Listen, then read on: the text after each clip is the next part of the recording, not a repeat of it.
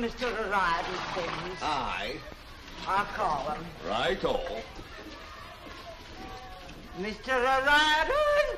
Mr. O'Riordan! Yes? The drayman's here for your things. Oh, yes. Get the things out of the shop first and be careful with that furniture. It's all handmade. It all goes to the new shop and the trunk goes to the station. Right-o, mister. What's he so excited about? He's getting married today. Oh, I got married once. Cost me seven and sixpence. Wish I'd bought a dog. I bet your wife wishes the same thing. Mad cesspool, I would cut myself today of all days. Hand me a piece of paper, will, if you please. Thank you. I... I can't use this. It's the new story you're writing. Use it. That's all it's good for. Ah, there you go now. Let an old man discouragement ride on your shoulders. You've got talent and imagination and heart. Why, man, the whole world is open for you to write about. How? Well, I'm sorry, but I've no patience with a man who has no faith in himself. Ah, it's easy for you to talk, Dermot. You want to be the finest cabinet maker in England. Well, you work in wood, you can see what you're accomplishing. And you get paid for what you do. I want to be a writer, but nobody will pay me to write. I have to take any old job I can get that gives me a bare living and a chance to write on the side. A spider spins its web out of its own inside. And you've got to dig down and pull it out of your heart and your body. The things you know. And you will. I'm as sure of your success as I am of my own. Holy heaven, hark to the time it is. A fine-looking bridegroom I am. I've got you all packed and ready to go. All packed. A fine packer you are, leaving Brian Boru himself hanging on the wall. The greatest of all the Irish kings. It's humiliated enough I am that you've had to repose in this mildewed boarding house. You and your Irish patriotism. Now, don't start on that or you'll be late for your own wedding. Pay no attention to the Sassenach, Brian Boru. You can't expect any Englishman to understand an Irishman's love for Ireland. Well, not an Irishman who left there at the ripe old age of five. And what if I did? I can still see the green hills and the blue lakes and remember the joyful kind of sadness that hangs over the land. It's all here in my heart. If I ever have a son, I'll give him back to Ireland to live the life I missed. If I ever have a son, I'll get him out of a slum like this, out of a life like this. It's not my son's body I'm thinking of, but his spirit. What chance has anyone's spirit in a stinking, starving slum? My son will have something worth living for. My son will have something worth dying for. Ah, that's a fine thing. Getting in a rage about the future of our unborn sons. Isn't it now? and spitting at each other like a pair of Kilkenny cats. I've loaded the stuff from your shop. Oh, well, thanks already.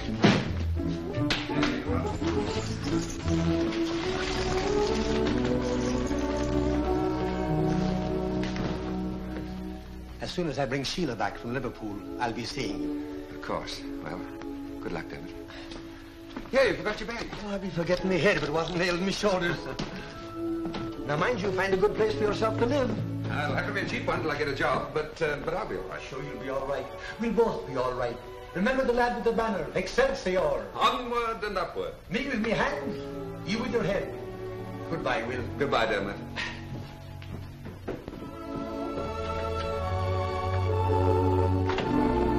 If you haven't got a job, you can't have the room. I want nothing to do with vagabonds. Oh, oh, thank you. Good night.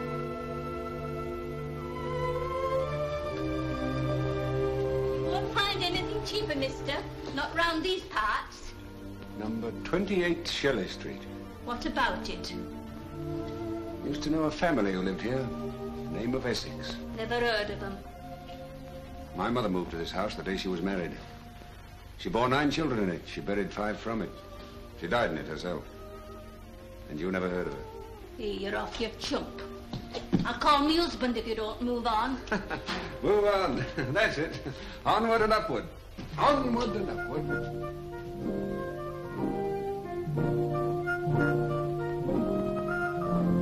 I'm telling you, they shortchanged me, and I don't blame them. Your blasted bread is short weight anyway, and you know it, you old cheat.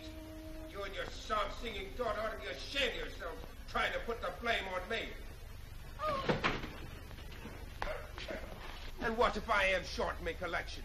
How much do you pay me anyway for delivering your blasted bread? Oh, dainty, ain't you? Dainty and religious. And you don't like me language, do you? Well, I don't like your job, and what's more, I'm chucking it this blooming minute. Stop! Stop! Your hands off me! It's Bill Essex, ain't it? What used to live on Shelley Street. Huh? I'm Joe Baxter. Joe Baxter? I remember me. Yes. Yes. I remember you. I remember your yelling after me in the streets. Does your mother take in washing? I remember the times you dumped that washing in the mud. I remember your stealing the pennies that my mother slaved to earn. And I remember the beatings that I got for losing them. Well, here's payment for all those memories.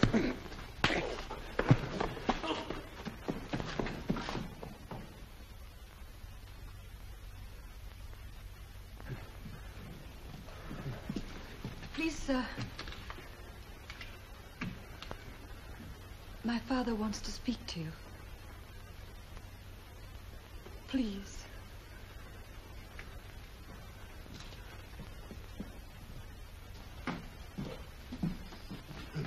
Oh, thank you, young man. Thank you very much. You, you must excuse me. This asthma catches me by the throat. Oh, that's all right. Dad, I happened to come along. No, no, no. I want to ask another favor. That cart outside. No one to deliver the bread. Well, Father means to pay you for it. It'll be worth three shillings if you'll oblige us. Please. oh, all right. Here's the list. All the addresses are written out and what you collect. The cart's already loaded. I'll be waiting up for you to pay you when you come back. Righto. It's a bad thing. A girl like you alone in the shop and, and me. me so helpless. We ought to get a good, respectable man to deliver the bread and live in. Protection for both of us. Perhaps that young man. Huh? I wonder if he would.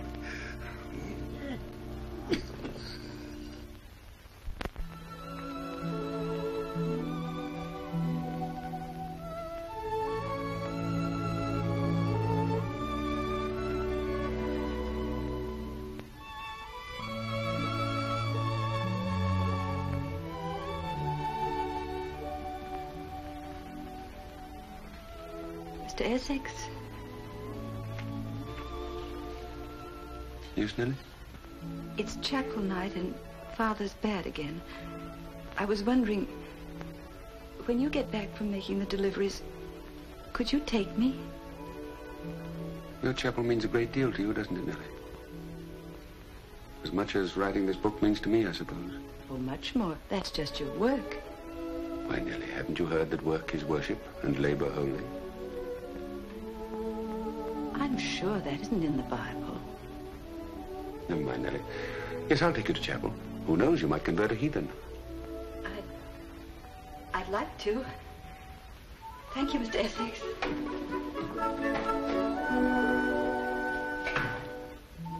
Oh, hello, Money Spider. Now, if you run down the page, this book will be a success. Come on now. Come on, come on.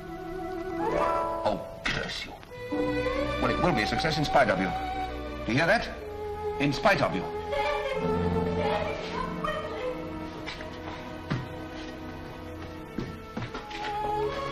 What is it, Nellie? What's the matter? It's Father.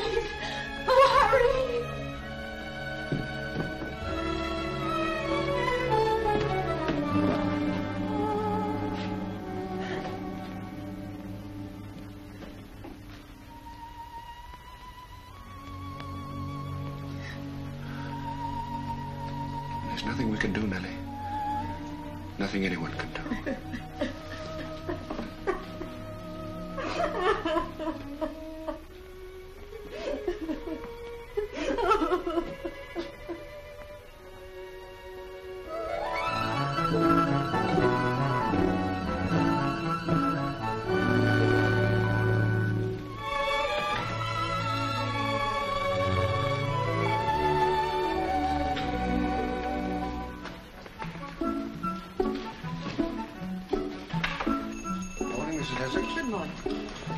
Your husband.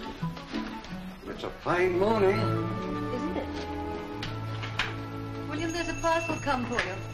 All right, over there in a jiffy.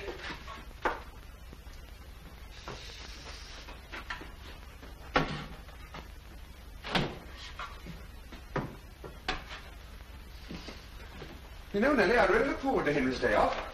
There's something fascinating about baking. You put in a soggy lump of dough and you take out a beautiful lump. My book! My book! Oh, why didn't you tell me? I didn't know. Oh, quick, quick, hand me a knife. Oh.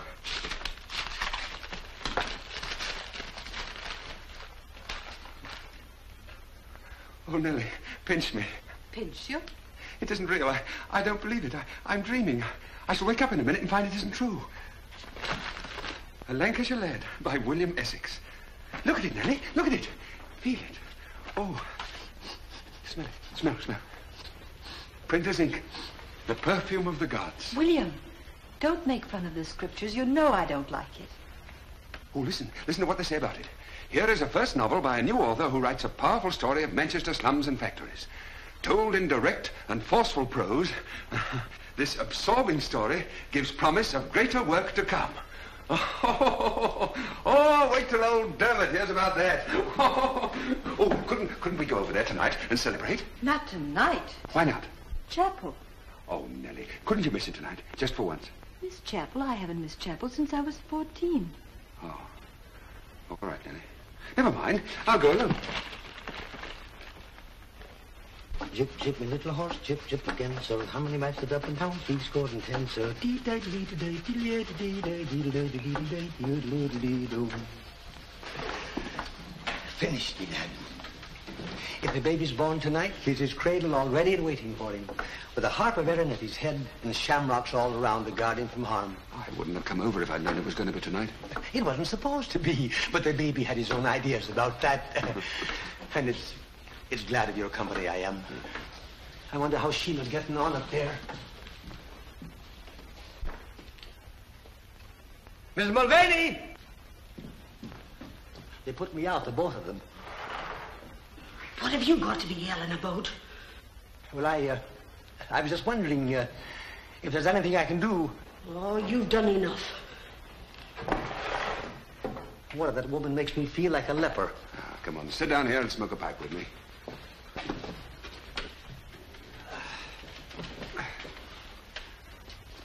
It's a Becky. Huh? Thanks, yes. What's that? Oh, oh, it's just my book.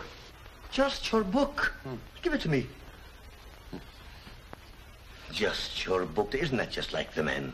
You've been here for half an hour and never spoke a word about it. Well, it didn't seem important when I got here, compared to what's going on upstairs. That's just like you, Will. Always thinking of yourself last. It's a nice dignified job of bookbinding. Nice fine print. But, why, man, why, Will, the dedication. Read it. Read it. To my friend Dermot O'Riordan, without whose good advice and bad language, this book would never have been started. well, I, I don't know what to say. I, I'm like the parrot that bit into the hot potato. I know what to say. Excelsior. Onward and upward to both of us. What did I tell you? I'm sending a load of furniture off to London next week to the exhibit. Ah. Yeah, sure, we'll be moving there one of these days. I'm going to be the finest cabinet maker in England, or my name's not Dermot Seamus Patrick Timothy Timothy O'Rule O'Riordan. Oh, Mr. O'Riordan. It is my pleasure to inform you that you've got a son.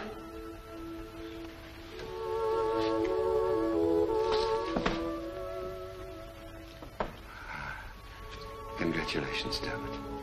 Though it's really the boy I should be congratulating for picking himself such a fine father. God make me worthy of you. Ah, you're always one ahead of me, Dermot.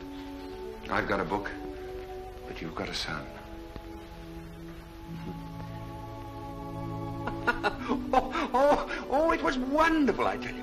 The old woman flinging open the window upstairs and calling down, "'Tis me pleasure to inform ye, you've got a son." I didn't mean to tell you so soon. But you needn't envy Dermot. Not for long.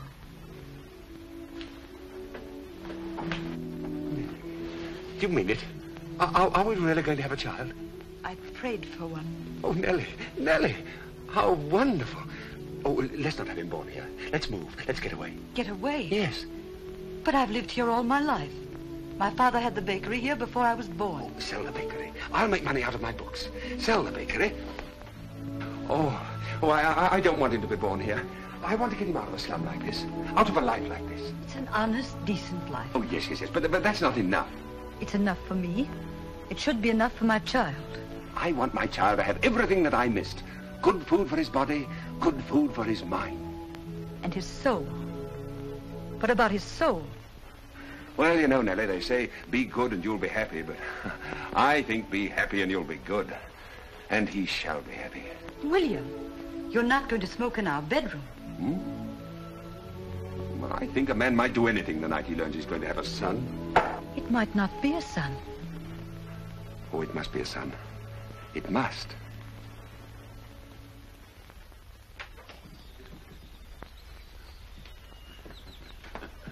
There we are. Now keep his bottle warm. Uh, yes, ma'am. Yes, ma'am. There we are. That's right. Ooh, ooh, ooh. Oh, what's that? He might need a fresh one.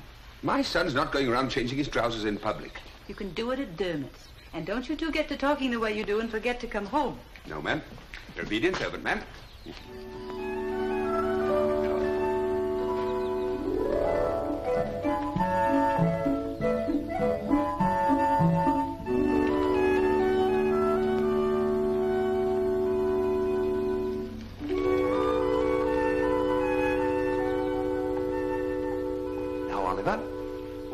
Loose.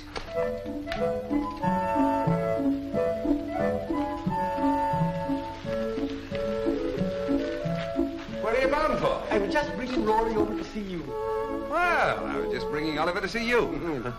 Lift up your lad so they can say how do you do to each other. Ah, look at the eyes on him. As big as daisies in a cow's mouth.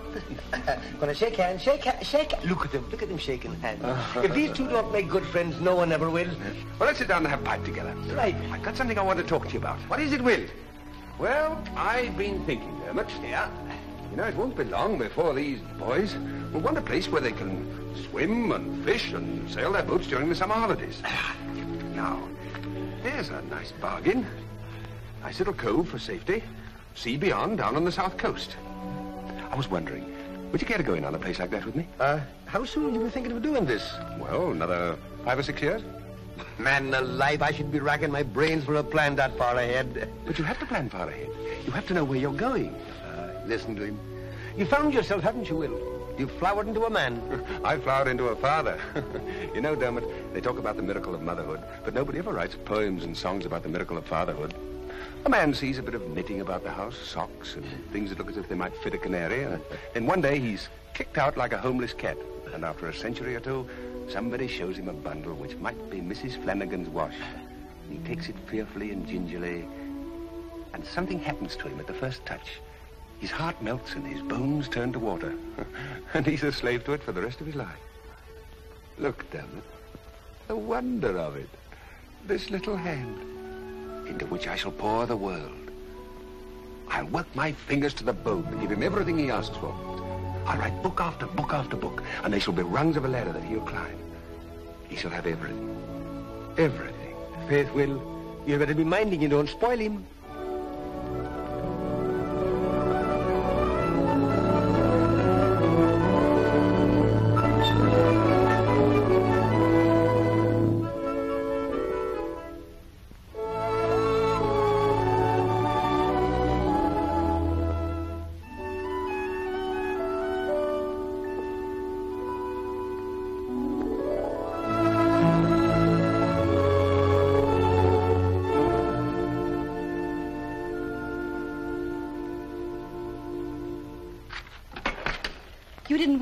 Didn't win this prize honestly. How could you stand there and take it, knowing all the time that you hadn't won it fairly? That you cheated? This isn't a freehand drawing. You traced it, didn't you, Oliver? No, I know that you did. you can't prove it.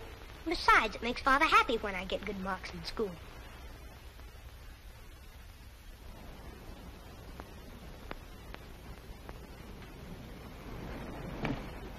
I said turn back, Oliver! Turn back! Swimming out too far. No, Sheila, he'll turn back. But not until he's given his father a good fright.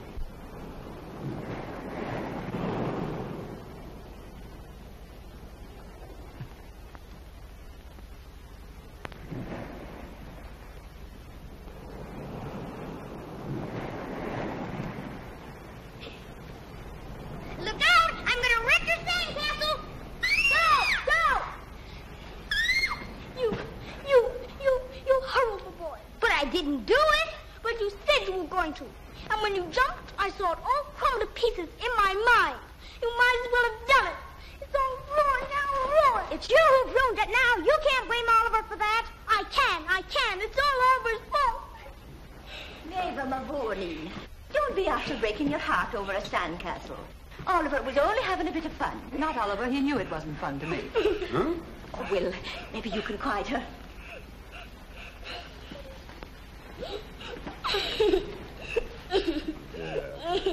Maeve.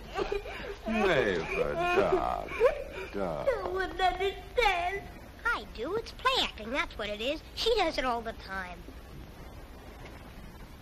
Oh, well then. If it's acting you want, Maver, you'll have to wait till you're grown up. And then I'll write a fine play for you. Will you really, Uncle Will?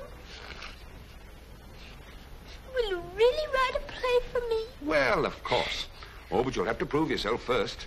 Why, any actress worth her salt could go right on in a play, with her heart breaking and the tears wet on her face.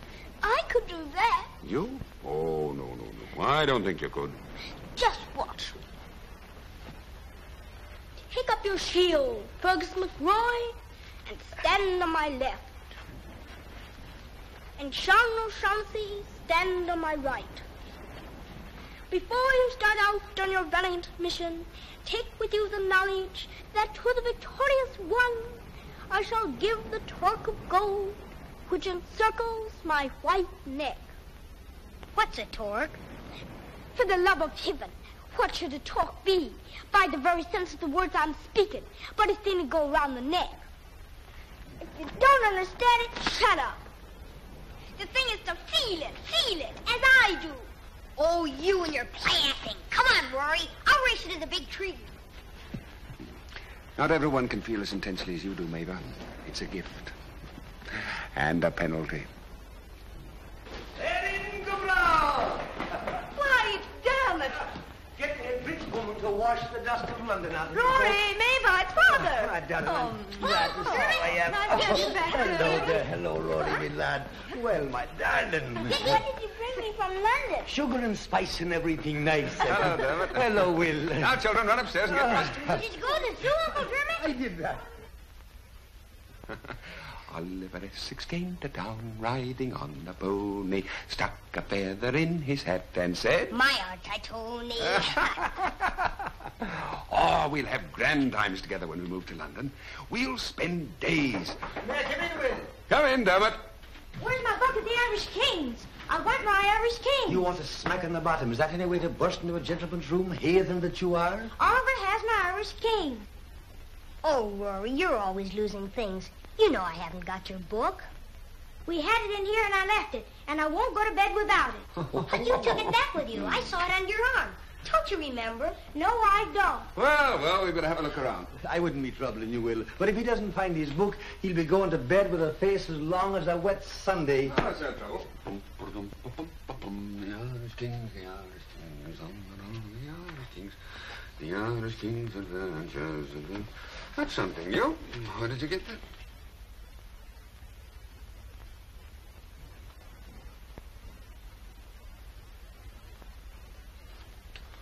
Oh, that looks good. We must uh, we must read it together. Are you sure you didn't lose the book, Rory? It's past your bedtime, Oliver. I'm sorry, Nellie. It's all my fault. But this young scalawag thought that Oliver had his book. You'd better apologize to Oliver for your rudeness. Oh, I don't mind Uncle Dermot. Really, I don't. All right, Nellie, come along now. Off to bed with you. Good night, Nellie. Good night. Good night. Good night, Sorry Dermot. to trouble you.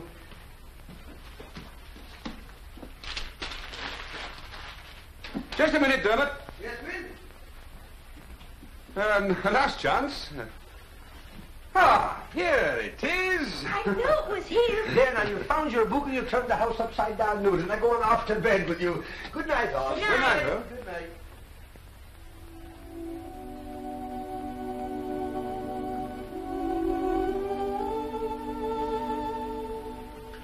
Oliver, why did you steal Rory's book? Steal it? But I didn't steal it. It was on the bookshelf. You must have put it there. Yes. I put it there. And you covered it with paper and wrote adventures on it, so that Rory wouldn't know that it was his book. Yes. I did. And you said that Rory had taken it away with him, although you knew that he hadn't. Wasn't that a lie? Yes, it was a lie, and I know I shouldn't have told it. But I didn't steal the book. Well, if that isn't stealing, what do you call it? Don't you see? I took it because it was Rory's. I don't understand. I love Rory, and I wanted to have something belonging to him. Something that he loved. Well, then, why didn't you ask Rory to give you the book? Oh, I knew he wouldn't give it to me. So, you see, I had to take it. I didn't mean to do wrong.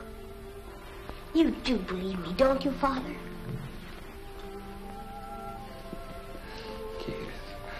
Yes, I believe you, Oliver. Oh, I'm so glad. I, I'd have cried myself to sleep if you hadn't. Go into the bathroom and wash your hands and face. Yes, Mother. And brush your teeth.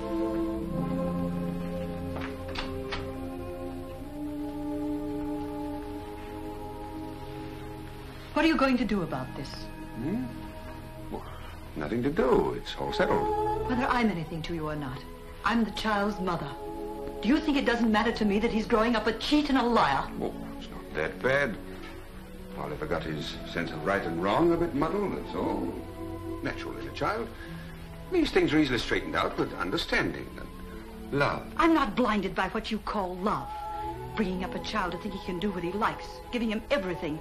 Presents, games, expensive schools, everything he fancies or dreams of. Give it to him, give it to him. That's your idea of love. Well, it isn't mine.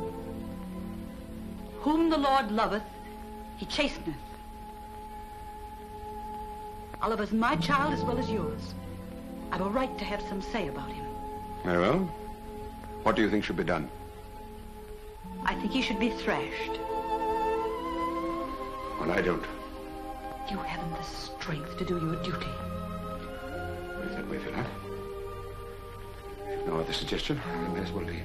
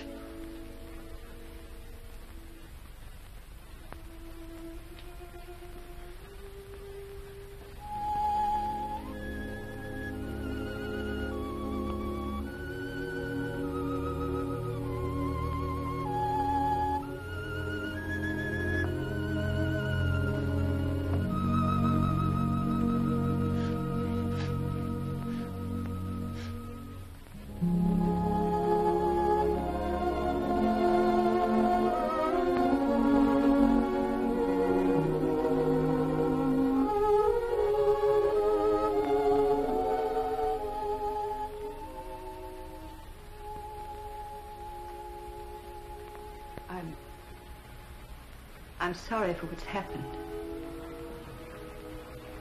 But I had to do and say what I believed to be right. I know. I know.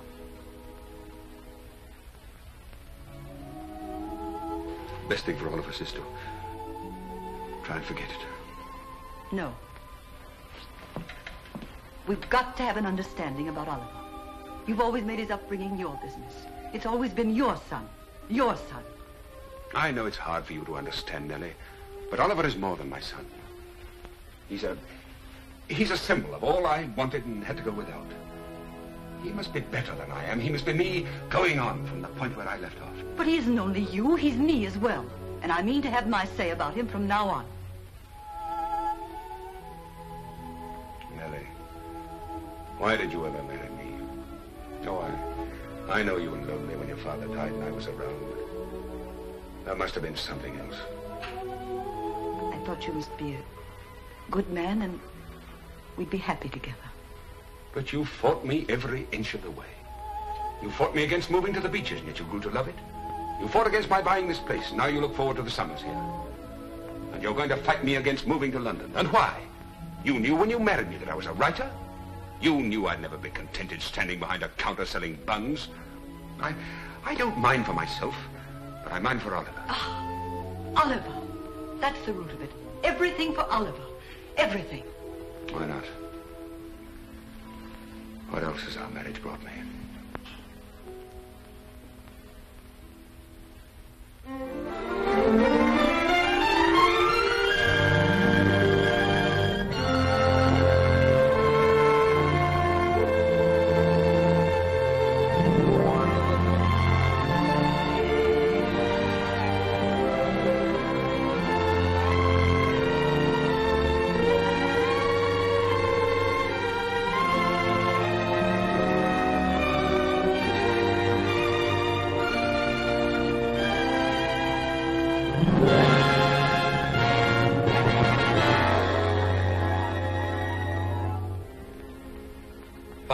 You, Parkson. Will this cover it? Oh, not your watch. Oh, stop being a nursemaid, Rory. Oliver knows what he's doing. Three aces. Three queens. Your father gave you that watch. You give me another. Don't look so solemn, Rory. My father gave me a watch with my initials set in rubies. Well, so would Oliver's father have done if he made his money sweating men in coal mines. Now, Rory, don't get your Irish up. It's none of your business how old Pogson makes his money. William Essex. I say, is he your father? So I've been told. Oliver. Of course he is. Remember his last book, where the hero was the dockyard laborer? I'm sorry, I don't read him myself. You don't know what you're missing. He's one of my favorites. I say, you're as bad as the old girls who come tootling up to me and burble. Don't tell me your father is the famous novelist. How too, too delightful. I take him to bed with me every night. I simply couldn't go to sleep without my dear, dear William Essex. Oliver, you are a card. Tell them about old Mortimer and your English papers. Go on, let's on. hear about it. You know, after perusing, um, uh, after perusing the... After perusing fruitlessly your extraordinary hieroglyphics and pondering your mixed metaphors, I ask myself, can this exhibition of illiteracy possibly come from the son of a famous novelist? I must confess, my belief in the hereditary theory of Darwin has received a crushing, in fact, an irreparable blow. I wish I'd heard it. now, you're not likely to. Hey, don't worry about your English marks. Your father owns a coal mine. I wish mine did. It's a jolly sight easier to live up to coal than culture. your deal.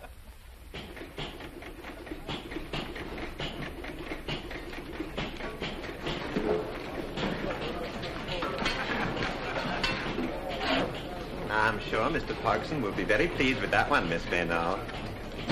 Clever idea it is, showing the romance of coal mining. But what I mean to say is most people think of coal mines as such depressing places.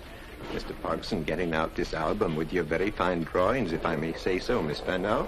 You may say so. He's paying enough for them.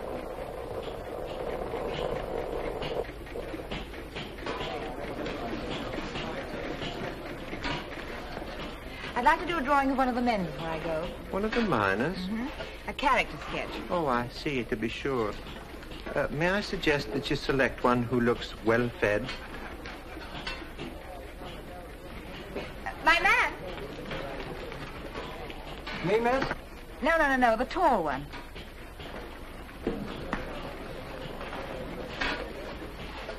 Come back here.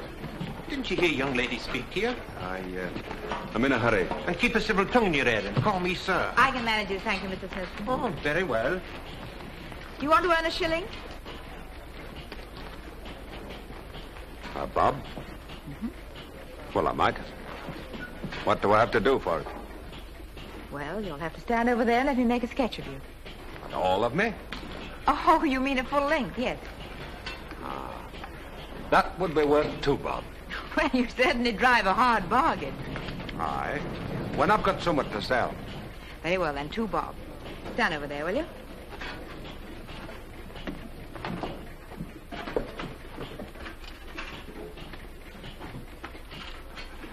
Stand naturally. That's better. Turn in, will you?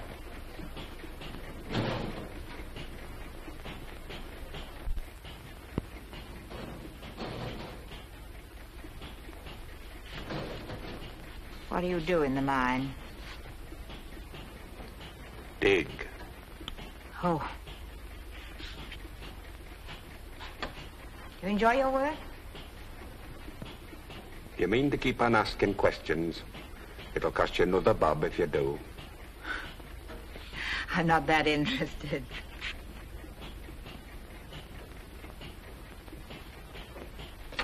Profile, please. Hmm? Side view.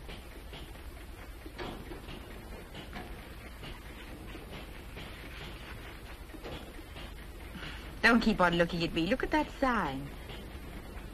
Do you do this for a living or just to amuse yourself? If I answer you, it'll cost you a bob. Even up. you fair got me that time, miss. I do this for a living. There. That's it. Would you like to see it? I don't mind if I do.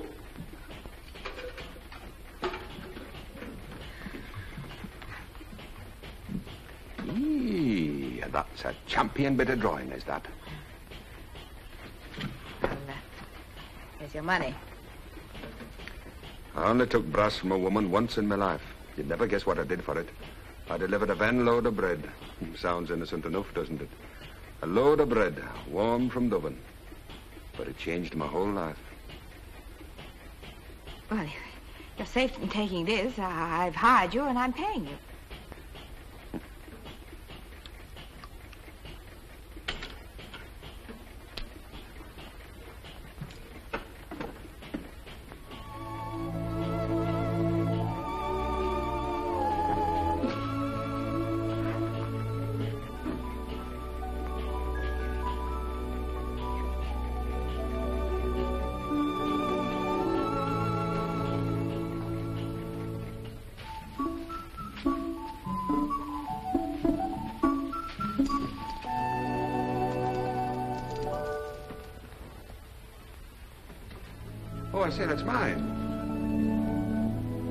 So much for stopping it. You fraud. You miserable fraud. My head is in the dust. But I, uh, I would like my two shillings. Your two shillings. Well, I earned them. Not honestly. I thought I was catching a miner. Well, you were. You needn't lie. No, there are different kinds of mines. Now, the one I own Oh, is... so now you own a mine. It was part of my inheritance. You'll be surprised at the things I get out of it. Diamonds, I suppose. Sometimes. Occasional gem that sparkles. Little gold and silver. Good deal of lead, and sometimes just muck. Oh, the muck gives me a clue. You must be a writer. Your servant, madam. I am one of those humblest of creatures. A man who digs in the mine of his intellect and brings Very forth... interesting, I'm sure, but I'm afraid I haven't the time to stop and listen to you because I have a train to catch. Oh, uh, carry a bag for a bob, miss? You're the most mercenary man I ever met in my whole life. Don't you ever do anything unless you get a shilling for it? Well, sometimes I get two bob, miss. Idiot.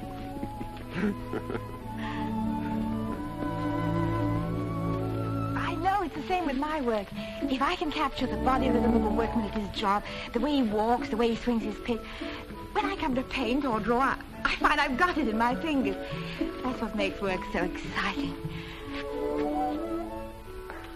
I never knew that talking to a woman could be like this. What do you mean? Well, I... I never knew a woman who did anything, who, who had a, a career, as you call it. I thought they were all well, blue stockings. I didn't know that a woman could be beautiful, young, and intelligent, all at the same time. I'm glad you put beautiful first. Are you vain? A little. I'm glad. Why? Because I wouldn't have you too perfect. I must catch that train. Are you finished with all your research down here? No, no, I'll be here for another week.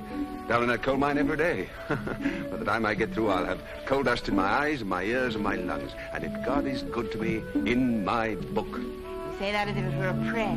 It is. Work is worship, labor holy. What is it? I said that once. I say it often. It's true, you know. I never knew a woman who thought so. You don't know very much about women, do you? Well, I, I managed to write about them. What do you writers know about women? What effort do you make to understand them? You call a creature Gertie, stick a pink hat on her head, a bit of sewing in her hand, say she likes marmalade, and, and there's your heroine. I was reading a book coming up on the train. Um, Every Street. Oh, by uh, William Essex. Yes, you know his book? Yes. They're rather fine. He has a great power and perception, sort of Manchester Dickens. Oh. well, I, uh, I wouldn't say he was as good as all that. Uh, Professional jealousy? no, no, not exactly. Oh, but I do think he's had luck catching on as he has. but I grant you one thing. His women aren't Gertie's and pink hats. Oh, they're not women at all. What's that? Well, that's a man's one glaring weakness. Oh, I, I thought he did them rather well. Have you ever met a woman like one of his heroines? Oh, Well, I, I don't meet women. No, you write about them. That proves my point about William Essex. But the, the critics like his love scenes. The critics are men. Now, you're, you're not going to stand there and tell me that you'd make love like William Essex.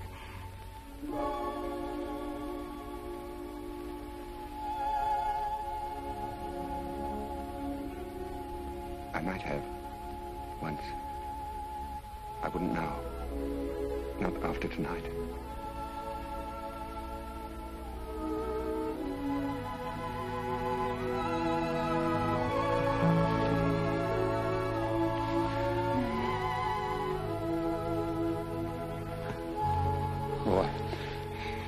Haven't the right to do that. I'm, I'm not a free man. But I shall love you forever and ever. I knew it the first moment I saw you. I knew it, too. I... Don't, don't speak. Don't tell me anything about yourself. I, I don't want to know your name or who you are or where you live. It, it's not safe for me to know. I, I must never see you again. Oh, no, please. No tears. I, I don't think I can bear that.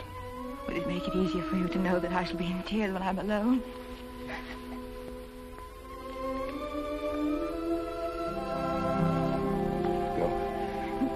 Go quickly. Here. Get your train. Go out of my life while I can send you.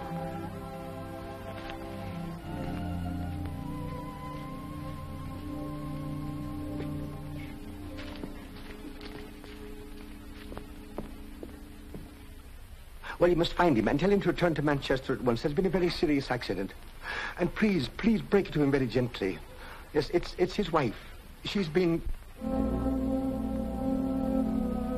Ah, I'll tell him. Poor chap. Thomas, whatever is it? Martin Cutlass. I have to find Mr. Essex. Bad news for him, Thomas? Why, his wife, run down by motor car. Killed. I'm on the way back from chapel. Seems only yesterday that I started down this path pushing Oliver in his pram. Oh, London may be too late for me, but it'll be just in time for Oliver. Ah, there you are. I can't finish the trunks well until I know what clothes you're wearing to London. What I have on? You better hurry, Sheila. The trunks and the books are all they're waiting for. Well, Mavis doing the books. Oh, well, I better give her a hand then. It's getting late. That's one I forgot. Lend me your pocket knife, damn. For what? This mourning band. I've ripped them off all his other coats. What do you think you ought? He's worn them close to a year. Even Nellie couldn't ask for more than that. I'm not going to have the man carry the trappings of bereavement to London with him. It's a new life he's going to. A new chance of happiness.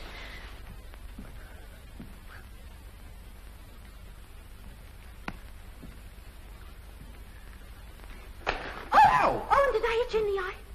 Why didn't you tell me you'd dramatized your book? It's wonderful. They'll go mad about it in London. Oh, you think so, do you? Oh, was it a black eye you're going to have? Put some beefsteak on it or a cold towel. Oh, it's all right. I'm so sorry, darling, but 'twas your own fault sneaking up on me. me lost to the world in this beautiful play. It'll make me famous. You? You? Well, who else? Who'd you write it for if it wasn't for me? A, a part that fits like a glove.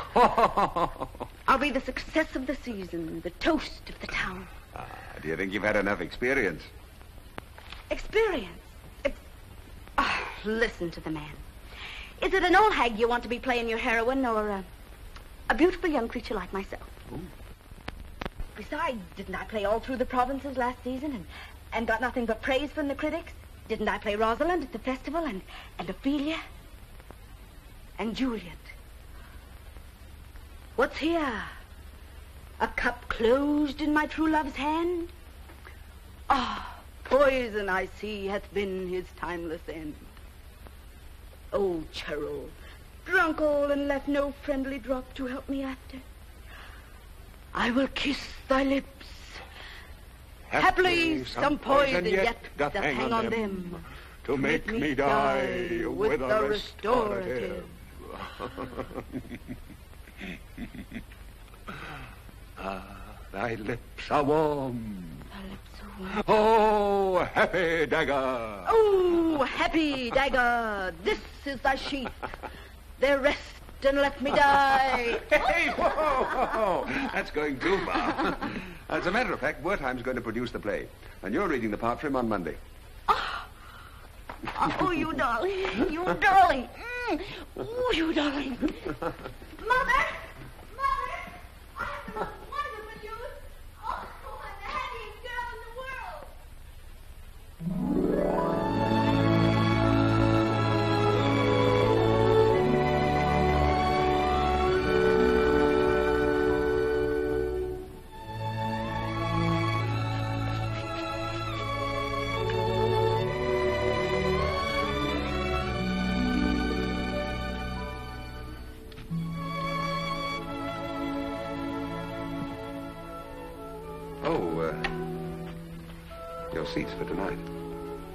to tell you.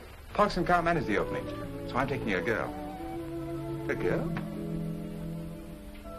Well, I suppose it is about time you were beginning to think about girls. Uh, anyone I know? I don't think so. I met her at Parkson's. What's her name? Livia. Livia Vaynol. Ah, short for Olivia, I suppose. Oliver, Olivia. Quite harmonious. What's she like? I'll wait till you see her. Pretty hard hit, huh? Rather. You'll bring her back to the party here tonight? Well, I thought I would, but maybe I shouldn't. Why not? Pretty stiff competition. Competition? Look in the mirror. Hmm?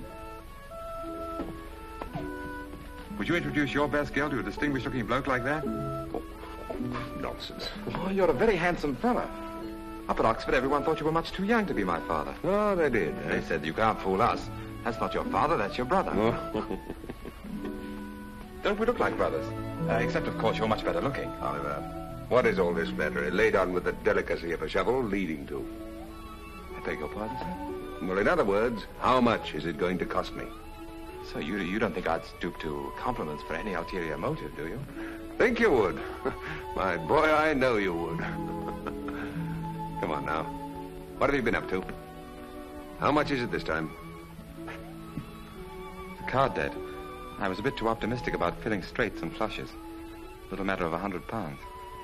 Hundred pounds? Was a year's wages when I was your age. Ah, but you see, I'm having a good time for both of us. That's why it costs you double. Remember? You always said Oliver must have all the things I missed. Well, I've taken on the job, and I'm not doing it by halves. When I'm offered a drink, I say one for me and one for the governor. Gets to be a bit of a strain at times, but I'm bearing up nobly. Scoundrel. Hurling back my innocent words in my teeth. I'm afraid I've spoiled you. But you enjoyed it. Oh, well. I'll write you a check in the morning. Oh, but you must settle down one of these days, old chap. Hmm? Oh, yes, one of these days.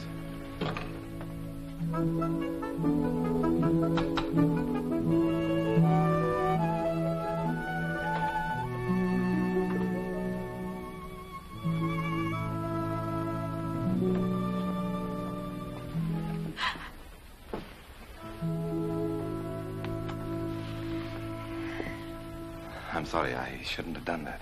You're not sorry. No, but it seemed a nice thing to say. You're an impudent young scamp. Still, what's the good of being young and handsome if you can't be impudent? And you're not angry with me. I don't get angry at unimportant things. Oh, so I'm not important to you, huh? Not important enough. Look, Oliver, you're very charming and very attractive, but you're just a boy. I'll grow older. Besides, I'm a lot more experienced than you are if it comes to that. Oh, don't be a goose. Besides, I've told you over and over again there's someone else that... Oh, I know. The man you met in the moonlight. The man whose name you don't even know. I could make you forget him. I wish you could.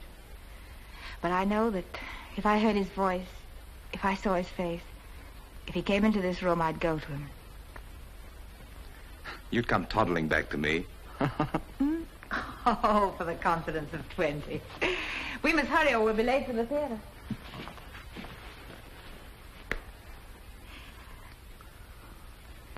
Look here, my boy. Are you making a habit of this? Why not? It's very pleasant. oh, you're hopeless.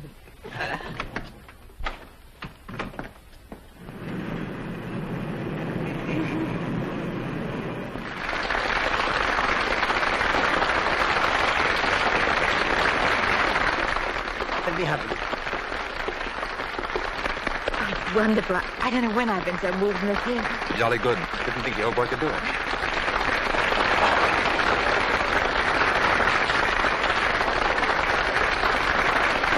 I can hardly believe it's me own little Maeve. Isn't she wonderful, Dermot? She's a real O'Riordan, all right, all right.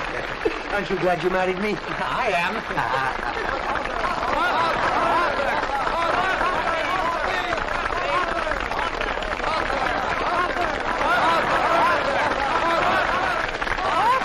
Arthur!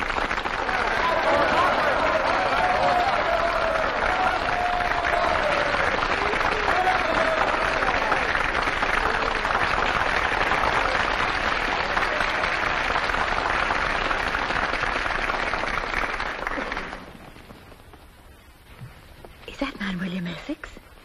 Course, who else would it be? Ladies and gentlemen, I can't pretend that I'm not proud and thrilled that you liked my play, Every Street, which has been so beautifully performed by this company of players.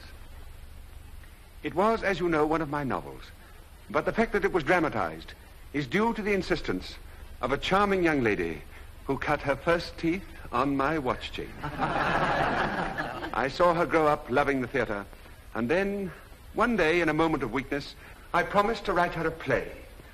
I, uh, I'm ashamed to confess that it was to bribe her out of a tantrum. she still has them, you know. Only now we call it temperament. and so, ladies and gentlemen, if this play is a success, the major share of the credit must go to Miss Maeve O'Riordan. Very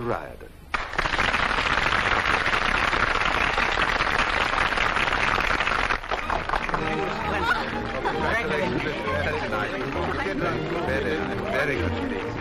Oh, man, wasn't it wonderful? Weren't you wonderful? Well, how could I help it with such words to say as you put in my mouth?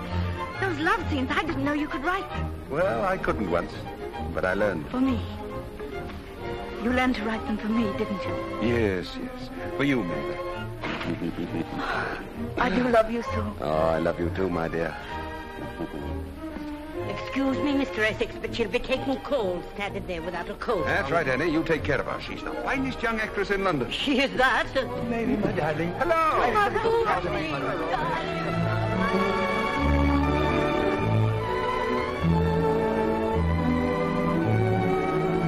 Congratulations, Mr. Essex. Thank you, Mrs. Croft. Very fine play. Very fine. Oh, thank you. I'm so glad you enjoyed it. Oh, good evening. Nice of you to come.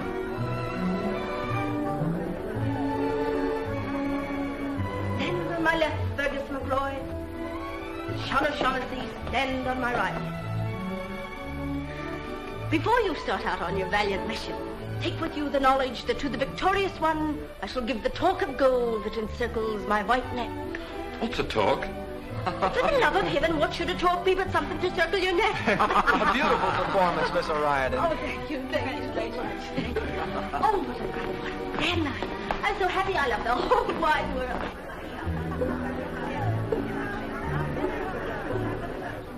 So long as I live, I'll never forget this night. The first time I ever put foot in a London theatre. And in the stalls, too, miss. Fancy that. Mr. Essex giving us seats in the stalls. Aren't you feeling well, miss? Oh, yes, I am perfectly well. I, I suppose it's all the excitement, the play and everything. Do you remember when the hero looked at her and said, I shall love you forever and ever? Oh, if any man ever said that to me, I'd never forget it. You'd never forget it. What's your name? Bessie. Am I beautiful tonight, Bessie? Oh, you fair make a picture, miss.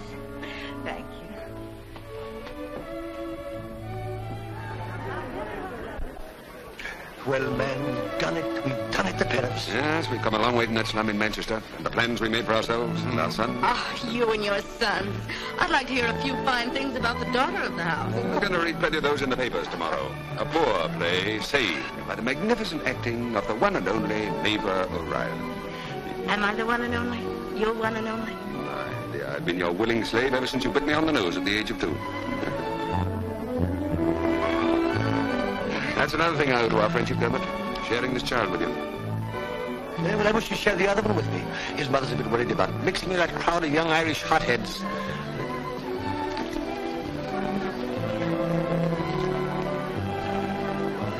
Now, who can she be? Did you see the look in his face? Yes, I saw it. It isn't true.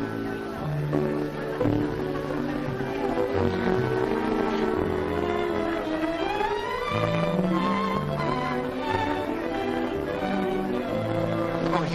it isn't true. There, there can't be this much happiness in one night for any man. If I don't reach out and, and hold you fast, you'll vanish from my sight. What brought you here? No, no, don't tell me. Let me think it was a miracle. Sent to me from heaven. Oh, oh, my dear. You didn't forget. Forget. Oh, does the sun forget to rise? Do the stars forget to shine? Do the, the flowers forget to bloom? oh, if you only knew all the things I've done. I've risked a hundred arrests for pursuing helpless females down dark streets, peering under umbrellas and saying, oh, pardon me, madam, I thought you were... And, and then I couldn't even say who I thought you were. You see, I don't even know your name. Do you realize that for all these months, nearly a year, I've only been able to think of you as, as my sweet, my, my love, my, my darling. I tried to find a name for you, but there isn't one good enough. what is your name? Livia. Livia. Well, there you are, darling. Fox had just telephoned. He wants us to join him for supper. I didn't know you were here. You don't mind if we run away a little early, do you? Well, really, Oliver, aren't you asking me to be rather rude? I, I mean, willingly to lose so charming a guest. Livia, you've made quite a hit. Isn't she marvelous? I'm glad you approve, sir. And if I hadn't? Well, I'm afraid I couldn't picture my world without Olivia. Could I, darling? Oliver. That's all right. Father hasn't forgotten what it's like to be in love. Oh, I have you. William Essex. A fine host you are, hiding yourself away from the company. Excuse me. Come on, then. We've your health to drink. Olivia, have you ever met my father before? Yes. Is he by any chance the man you couldn't forget? Yes. Curtain rises on another Essex drama. Champagne, sir. To drink your father's health. Hmm? Oh, yes, of course. Ladies and gentlemen, this is possibly the first time in history that an Irishman has had a chance to make a speech and didn't take it. but I know that nothing I could say could add to the joy of the occasion for this very dear friend of mine who's already trembling like a leaf because he knows that I'm easy to start and hard to stop. and so I will say only this. A toast, ladies and gentlemen, a toast to William Essex, the happiest man in London. William Essex.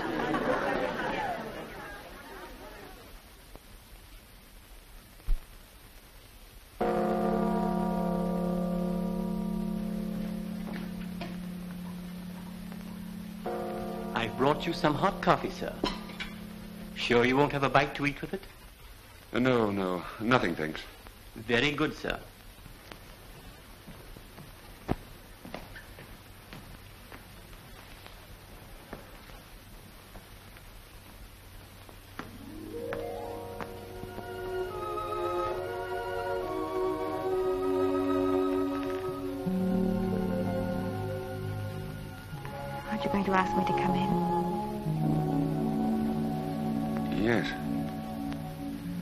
Of course.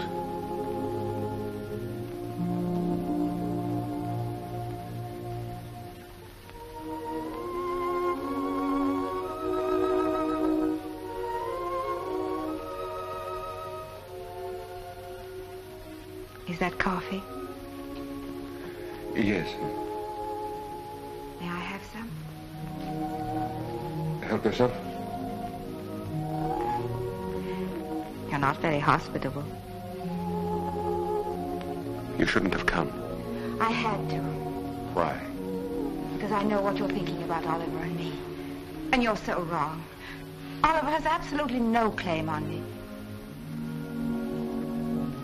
After all, every woman has men who are attracted to her, who call her darling. But Oliver's my son. Oh, don't dramatize that.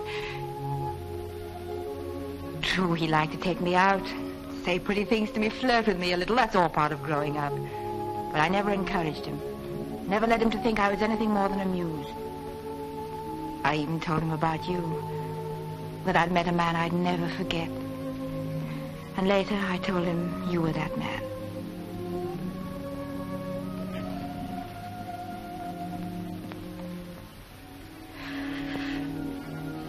It's getting cold.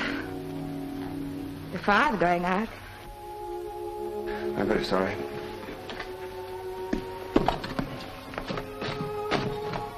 Thank you. Well, Olivia, why don't you go? Why can't you leave me in peace? would you be at peace if I left you? No. My poor darling. No, don't. After all, what do you expect me to do? Compete with my own son? I've told you Oliver means nothing to me. But you mean something to Oliver. No, I, I'm not going to take you away. Take me away, but, but what am I? A, a desk, a chair, a table? Take it, my dear Oliver. I give it to you. It's yours. You probably spent your whole life giving things to Oliver. He's my son. You can't give him everything. Life has something to say about that. And you can't give me to Oliver because I won't be given. Go to him. Tell him that we love each other. He's only a boy. He'll forget me. And if he doesn't? That's Oliver's business. You can't live his life for him. Oh, don't you see? He's bound to meet some woman sometime who doesn't want him. It happens to be me. It's nothing to do with it. He'll be attracted to hundreds of girls before he finds out what love really is. Oh, I wish I could believe that. You must believe it. You can't say anything to me that I haven't said to myself. But it, it's no use. You sent me away once before. Are you going to send me away again?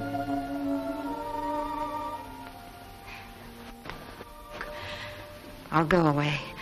I'll go out of your life and never come back again. If you'll do just one thing. Look in my eyes and say, Livia Vaynol, I don't love you. Just say that once and I'll go.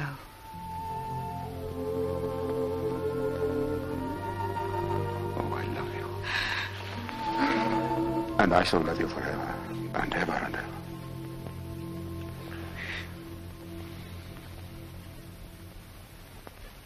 Don't think I misunderstand the feelings of a young man, Oliver. I, I know how sincere and real they can be, and, and I know what pain they can give. But they pass. They change. I'm sure of this. Otherwise, I couldn't tell you what I'm going to tell you now. Olivia and I are going to be married soon. Palmam qui meruit ferat. Oh, I forgot you don't know Latin, do you?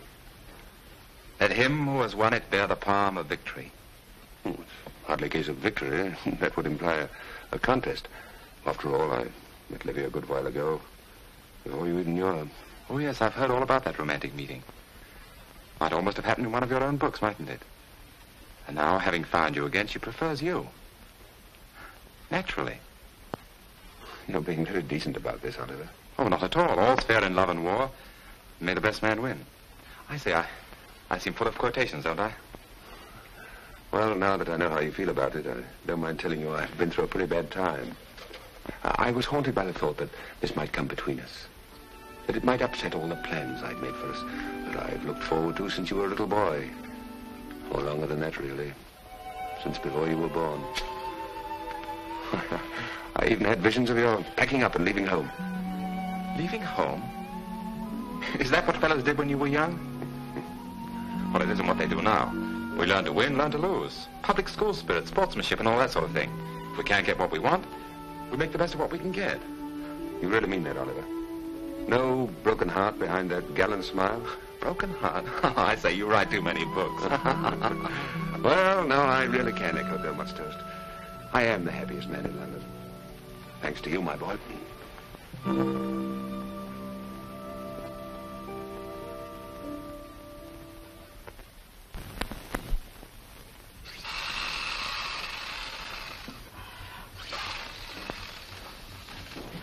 Mr. Essex, miss. Oh.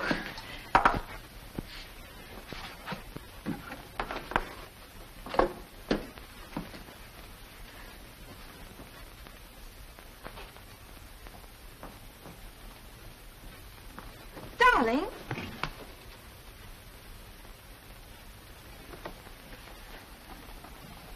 Just paying my respects to my future stepmother.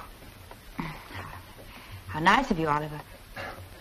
I uh, hope these are suitable for a family call. I had some difficulty in selecting them. I, I didn't quite know what one brought to one's stepmama. I think you did very well. With my compliments, congratulations, and dutiful devotion. Thank you, Oliver.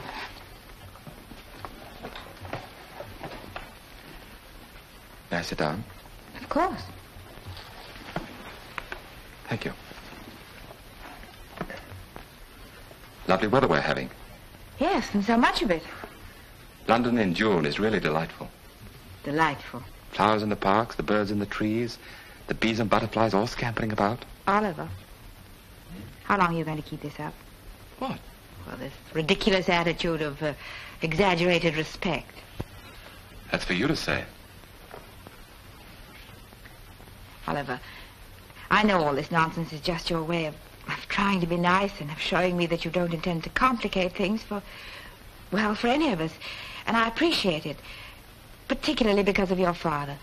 Your generosity has made him terribly happy. As a matter of fact, I'm very happy about it myself. Just think what a nice, cozy time we're going to have together. Three of us. Three? Papa, Mama, and little Oliver. You mean you you intend to live with us? Of course. We'll be such a snug little family. Long winter evenings in town and long summer nights at Heron Water. When Father's busy with his books, you won't have to worry about being lonely, for I'll be there. And everyone will say, isn't it sweet, isn't it touching how devoted Oliver is to his beautiful young stepmama? So that's what's behind your pretended acceptance. That's what you're planning. I don't know what you mean. Oh, yes, you do, Oliver. You intend to live in your father's house and make love to your father's wife. Livia, how can you have such thoughts? Aren't you afraid of putting ideas into my head? I didn't know anyone could be so... so vile.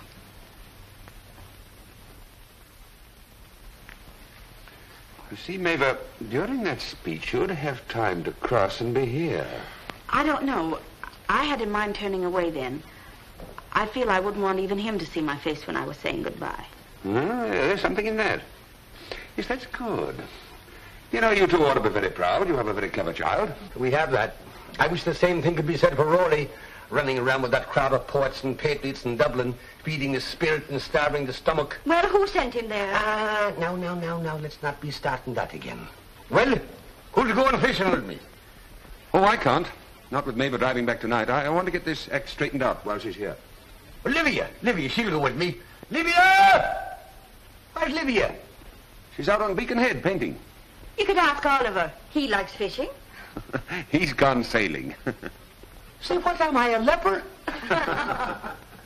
well, now, if no one else is available, I'll go with you. Now, woman, I'll not be having you do any favors. Unless you're coming for the sheer delight of me society, I... I've had 20 years of your society. I'm more interested in catching fish. Ah. Come on, you big soon.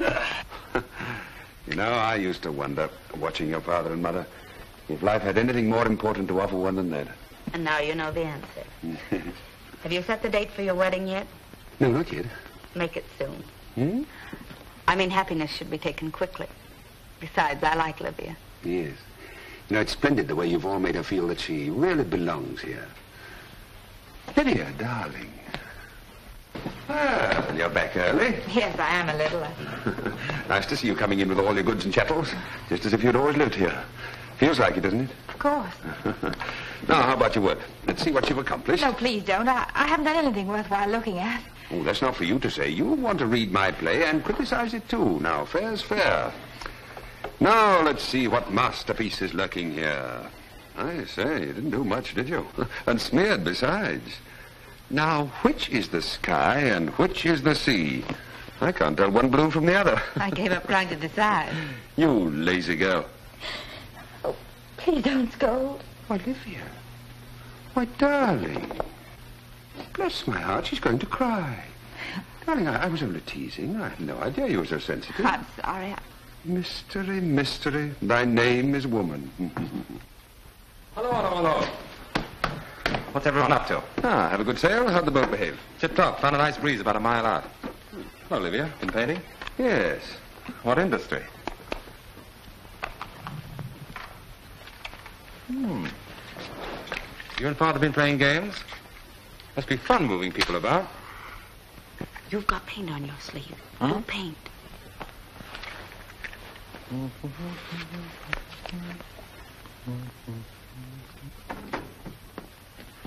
oh, Maeve, I was wondering, could I borrow some rouge? I'm so terribly pale tonight. Of course, sit down here. You better let me do it. I'm an old hand at this makeup business.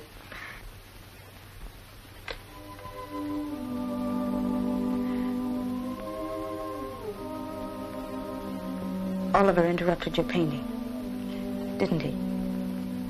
Yes. I thought so. Oh, Maeve, I, I'm so frightened. You've no idea what this week has been.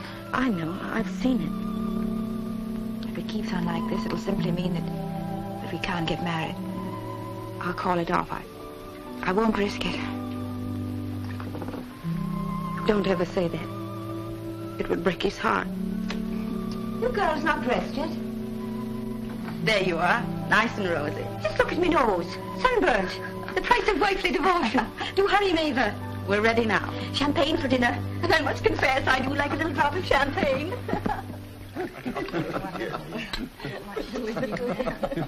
I say I'd like to propose a toast. A toast to my beautiful and charming future stepmama. Ah, my darling. Thank you, Oliver. Yeah, that's the way I like to see you. A bit of colour in your cheeks. You know, she came back from her painting this afternoon looking like a ghost. Did she know? And what was the trouble, Olivia? Oh, uh, Oh, the frustration of a creative artist, my dear Dermot.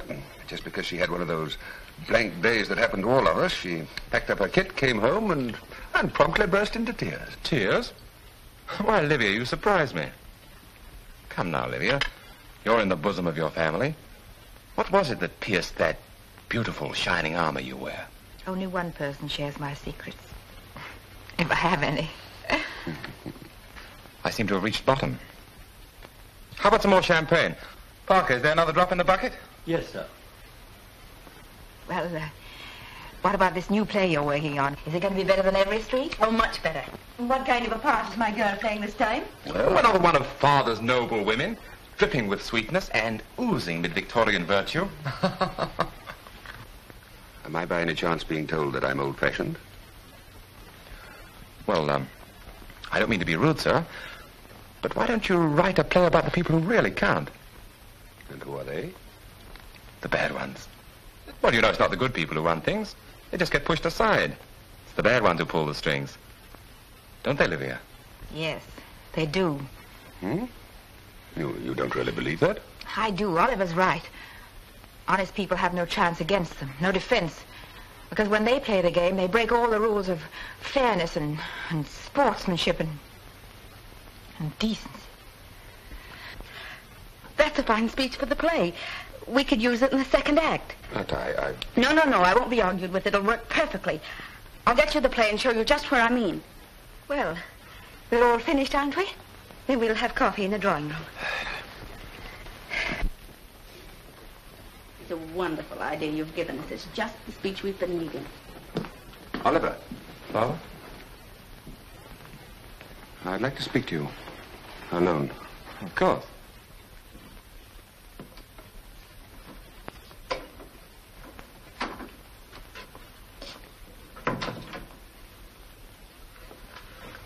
Cigarette?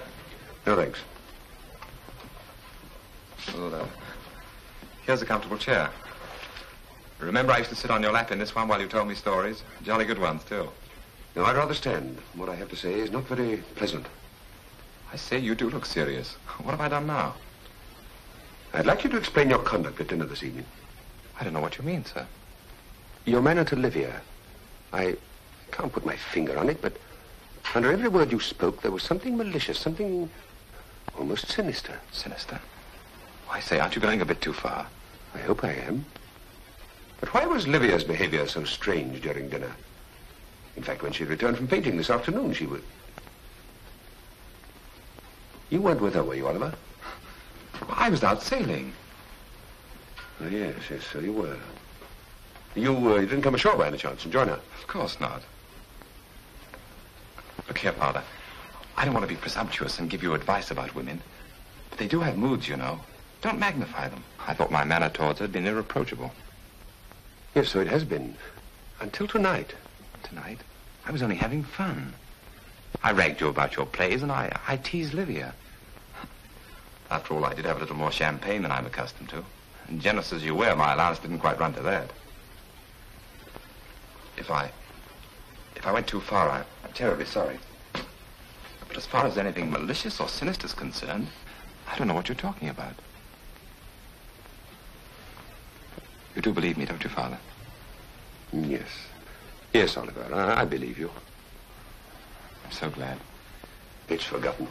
Now, I think I'll take that cigarette, if you don't mind. Right out. I had some, but... Yeah, what's that on your sleeve? Give me that.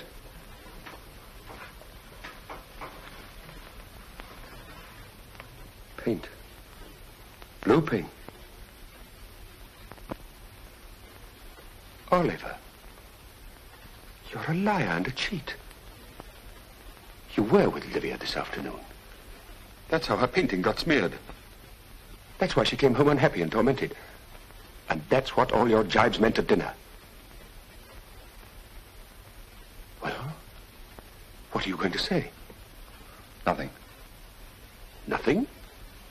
You hold all the aces. This isn't a poker game. No, the stakes are slightly higher. Liar and a cheat. Why, your mother told me that, here in this very room, and I didn't believe her. How blind I've been and what a fool you must have thought me. Of course, if you're going to let a quarrel over a woman come between us... Livia is no longer the cause of this, Oliver. It goes much deeper than that. You've outraged and degraded what was the finest thing in my life. My love for my son. How right your mother was. The first time I caught you in a lie, I should have thrashed you. Do you propose to do it now? I wouldn't trust myself to touch you. Well, I suppose this is my cue to exit. What do you mean? Well, I'm being chucked out, aren't I? No, Oliver. Wouldn't solve anything for either of us. Wouldn't alter our relationship. I'm still your father and you're still my son. No. Our problem now is to find a, a new basis on which to build a new kind of understanding. Noble, aren't you? I'm to be given a trial, to be put on probation to see if I'm good enough to breathe the same air as you and Livia. No, thank you. I'm clearing out now and for good.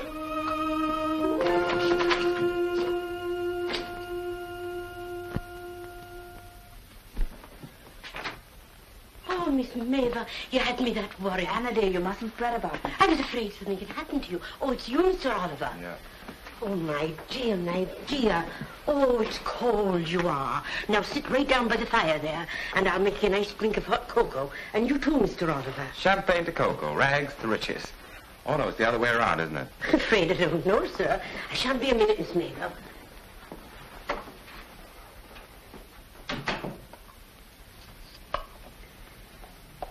Oliver, Hmm? I know you asked me not to talk about what happened between you and your father, but, Then why do it? well, because... Listen to me. Haven't you hurt everyone enough? Even yourself? You could patch this quarrel up so easily. Do you mind dropping it? Nice place you have here. You do yourself very well, don't you? Thanks to your father's play.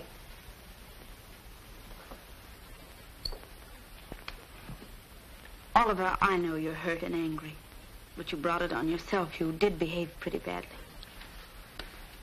You know, Maeve, you have the prettiest eyes in London. Why must you make everyone so miserable? That's lovely hair. Smells nice, too. Oliver, don't be so hard and cynical. Remember how happy we were when we were children. We had such dreams, such wonderful dreams. And now's our chance to make them come true. Little Maeve. Go back to him, Oliver. Don't spoil his life. Think of how much Olivia means to him. Right under my eyes all these years. I never saw you before. Please don't let your pride stand in the way. Promise you'll make it up, Oliver. Promise. If you keep looking at me like that, I'm likely to promise almost anything. Anything.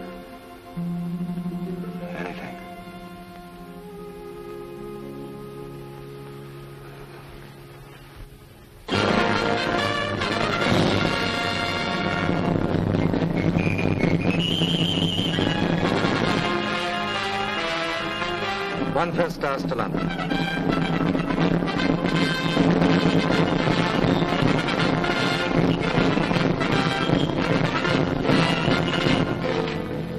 The whole blasted world is falling to bits.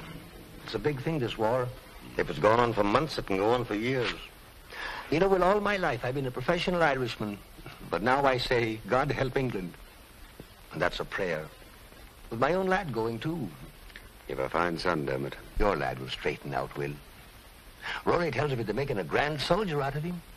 Oh, don't, don't take this separation too much to heart, Will. Fathers and sons have disagreed before. Disagreement? Mm, if it were only that. You see, Dermot, I've let him know how much he means to me. That's why he can use this separation as a weapon. I don't see how he can do a thing like that. Not with the good father you've been to him. Well, good fathers are sometimes bad fathers. Well, all I know is you've been neglecting yourself and your writing and living a poor child is eating her heart out. Oh, you've scarcely seen her in weeks. I know, I know. Well, I've got to be getting along now. Mm, no, don't go. I'm sorry, I must, Will. And, man, do be cheering up. As my old grandfather used to say, it's a long lane that has no silver lining. Goodbye, Will. Goodbye, Dermot. Bless you. Yes, Miss Maeve, if you'd only drink a cup of tea. Well, you haven't eaten a mouthful, not I couldn't touch a thing, Annie. It's Maeve. I just heard from Rory. They're going to France tonight, last minute orders. I thought you might want to see Oliver again before he left. Oh, yes, yes, Maeve, of course I would. They're leaving Victoria Station at 8 o'clock. Eight o'clock? Oh, thank you, Maeve. Yes, I'll be there.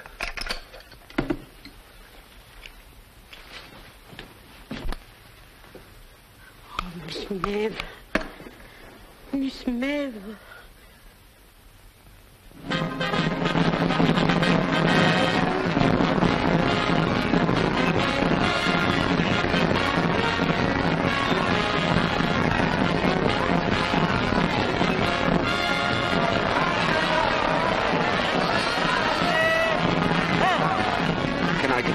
Late, sir. No one allowed on the platform.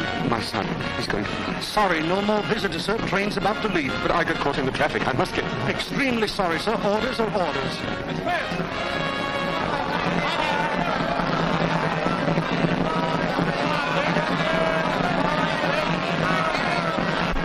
Now, Rory, are you sure you have everything you need? You'll remember what I told you about keeping your feet dry. And you'll write every day, won't you? Yes, Mother. Dermot! Dermot!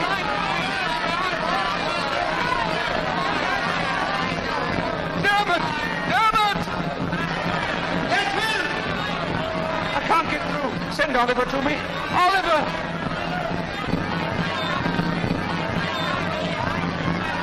Did anyone ever tell you that you have the prettiest blue eyes in London? Oliver, Oliver, your father's over there. He wants to speak to you. Tell him I'm busy, extremely busy. You know, it's not fair to have girls like you down at the station. Makes a fellow want to stay at home. Oh, you are what? Aren't you going to say goodbye to your father? No, not goodbye, nor anything else. If I were your father, I'd... Ah, but you're not. Have you no feeling? How can you do that to your father? It's quite easy, really. Goodbye, Sheila. Goodbye. Take care of yourself. What would you like me to bring you back? You won't see me. It was like running a knife through me to have him tell me that he had nothing to say to me. Go back, Dermot. Say goodbye to your boy. Tell him to take care of Oliver. Come. Goodbye,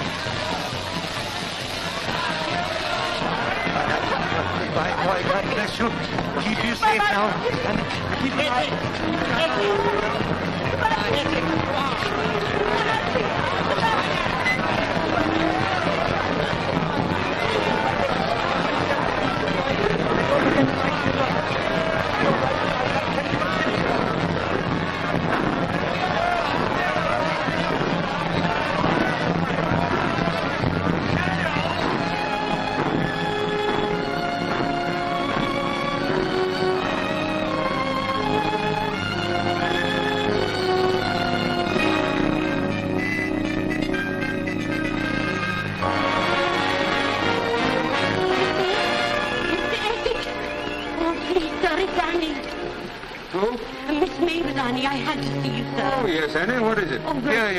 Can't stand here in this wet. Miss Maeve doesn't know I've come. I waited till she'd gone on the theatre. Oh, sir, I'm fed up. My mind with worry. Worry? Why, Annie, what's wrong? What's oh, troubling you? The way things are, sir. And Mr. Oliver going away tonight. Oh, Oliver? Oh, no.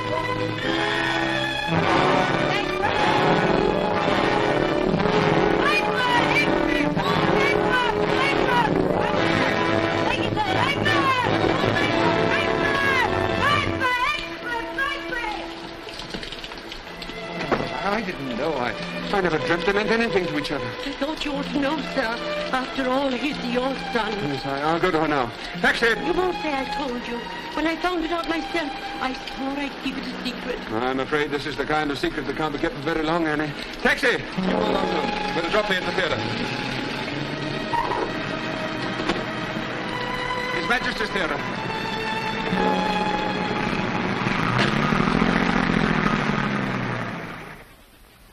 Theater, isn't it? Young actress wrecks career, throws away all she's worked for, faces certain eclipse and scandal. But Oliver, how could he do this to you? How could he leave you to face this alone? Because uh, there was nothing I wanted him to do about it. He knows, doesn't he? Look, darling, don't blame Oliver. I began all this. You began it? But, but why? What's behind it all, Maeve?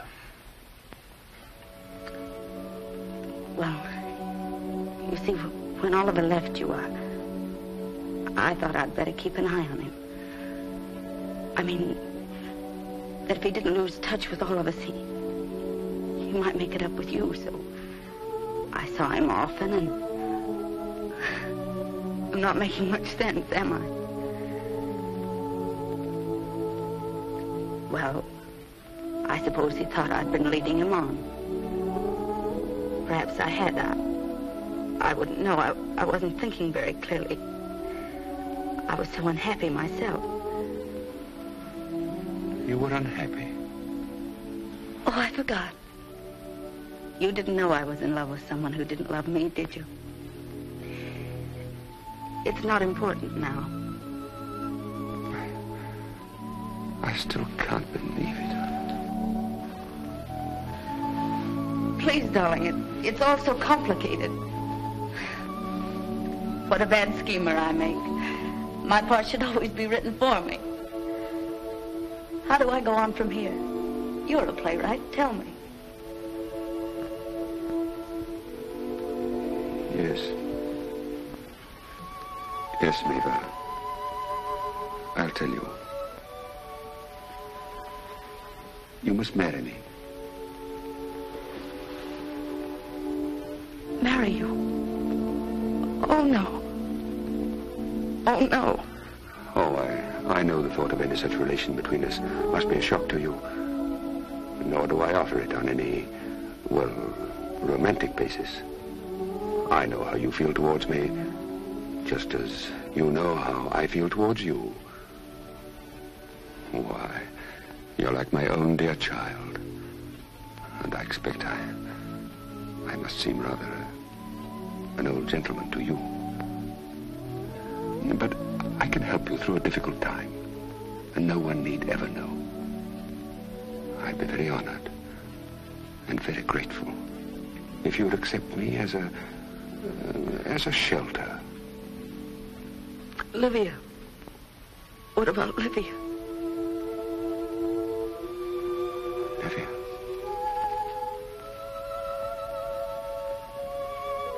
Love her like that, and yet you'd marry me. Cut yourself off from all hope of happiness. For me. Oh, man, you make me proud. Two minutes, Miss O'Riordan. You're a good man, William Essex. You must marry me, Maeve. We'll close the play tomorrow. We'll give out a story that you that you have to take a long rest. I'll get a special license, and we'll go away straight from the registry office. I must have time. I, I must think. Your whole life depends on this, Maeve. And yours. Let me sleep on it. Whatever I've decided in the morning, I'll be ready. Miss O'Riordan, curtain going up.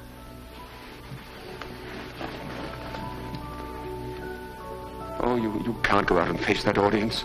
Oh, can't I, though? Who was it said when I was only a little girl? Any actress worth her salt could go right on in a play with, with her heart broken and tears still wet on her cheeks.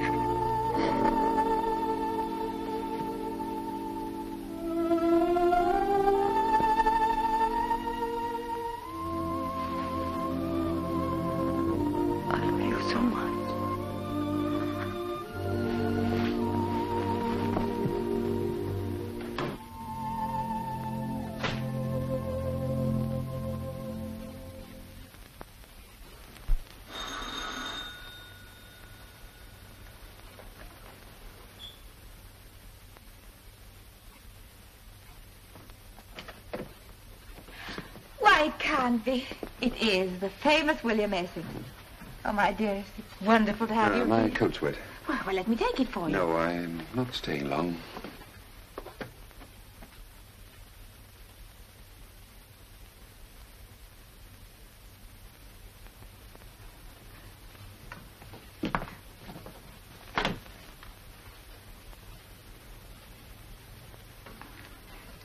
I expect the room seems a little unfamiliar. I've been moving the furniture. Have you ever noticed how when a woman has a lot of time on her hands, she moves the furniture? Yes, I, I even had that framed. My worst sketch. You may not remember it. It's a workman I did about a year ago. Curious fellow. Impudent in a way, but I thought his face had character. Character. I don't see it. I, I'm afraid you wasted your time. I never forgot him. Better if you had. Oh, no. I've never brought you anything but unhappiness, Livia. And I never will. Is that what you came to tell me? Yes. Do you want me to release you?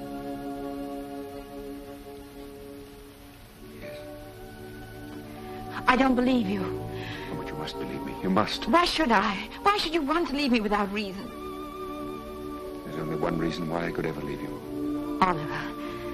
Oh, I, I know what this break between you has meant. I, I know that it has made everything else in your life seem unimportant, even me. And I can understand that. But, oh, my dearest, don't let it separate No, us. it, it, it's nothing like that. It's something quite different. Do you remember that night when you came back and you you told me that if ever I could look you in the eyes and and say, Livia Vaynol, I don't love you. You couldn't say it then. You can say it now. That's it, isn't it?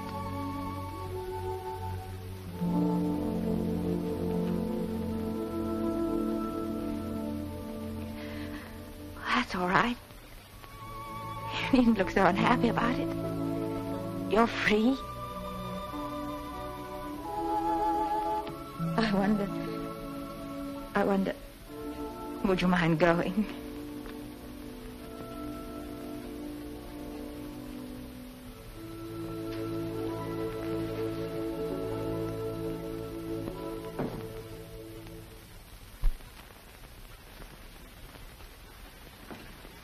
Where shall we deliver it, sir? "Oh, uh, I'll take it with me, thanks."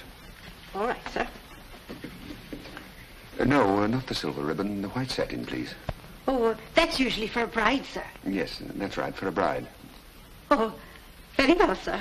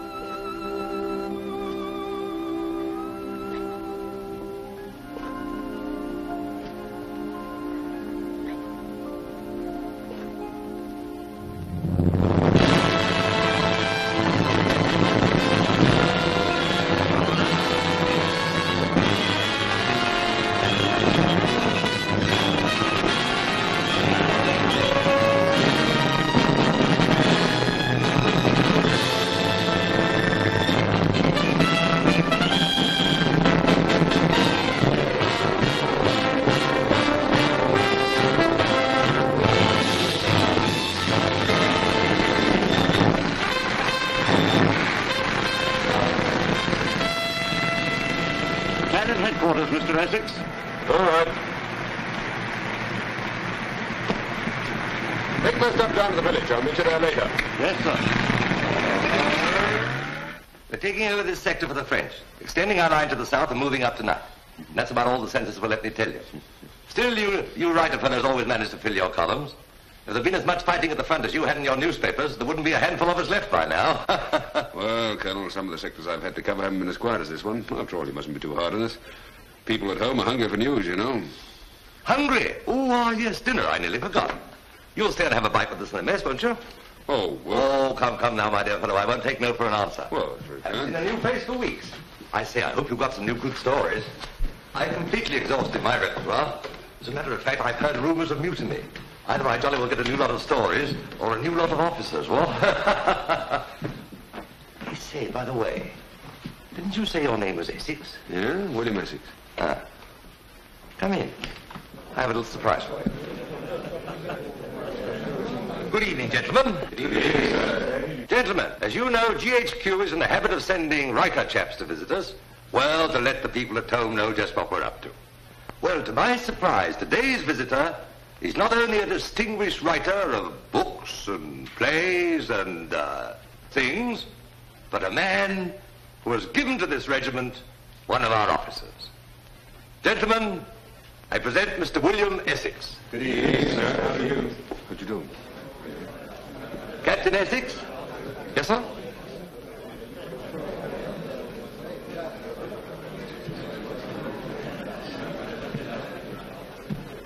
Ah, little surprise, what?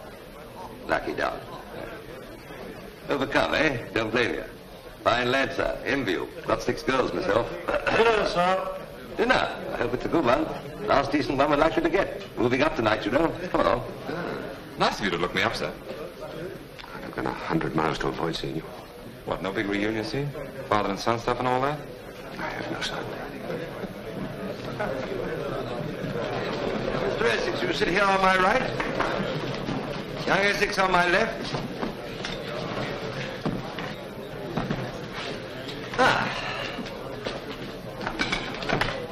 Who's missing? Who's missing?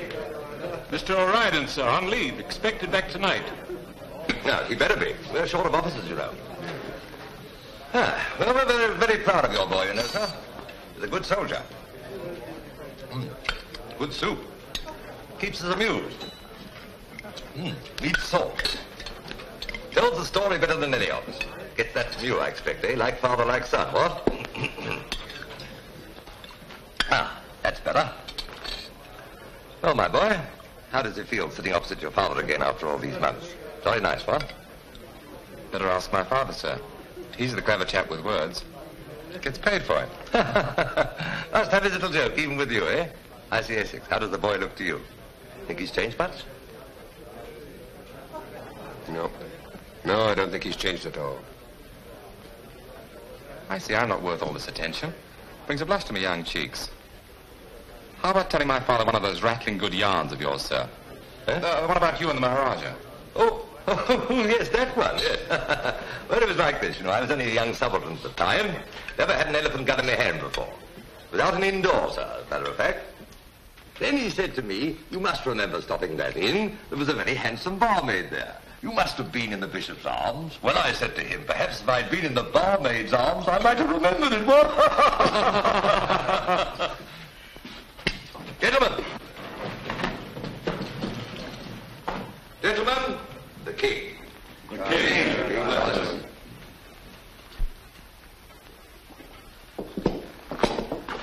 Gentlemen, you may smoke. Cigar, is it?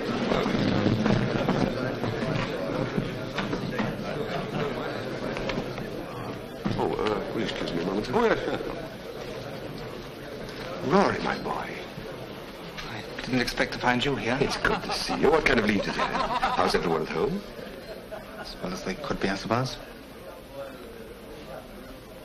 You're not looking very fit for a boy who's just got back from leave. Well, you're not ill, are you? Perhaps. I don't know. I saw Annie in London. Neighbours Annie. Yes. I imagine she's a bit lonely. We all are, Rory. Not Oliver. Listen to him laugh.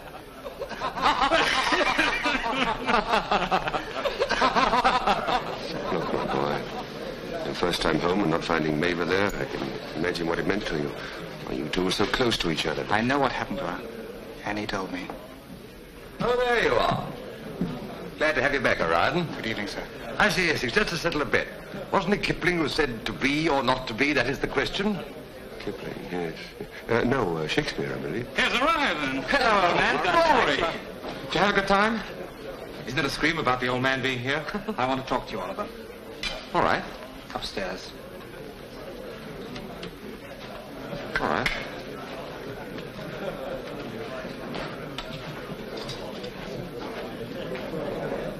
Oh, no, no, no. You can't run away now. You've got to stay and help me finish the port.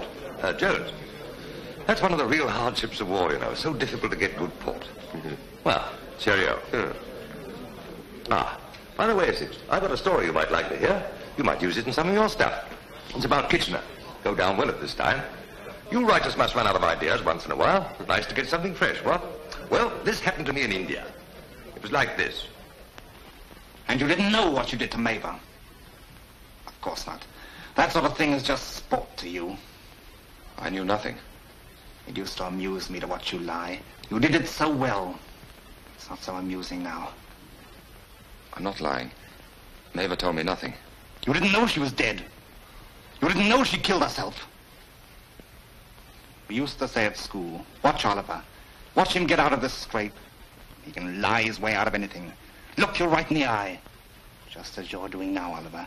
I'll make you believe that right is wrong and black is white. But you can't do it to me, Oliver. You see, I know you too well.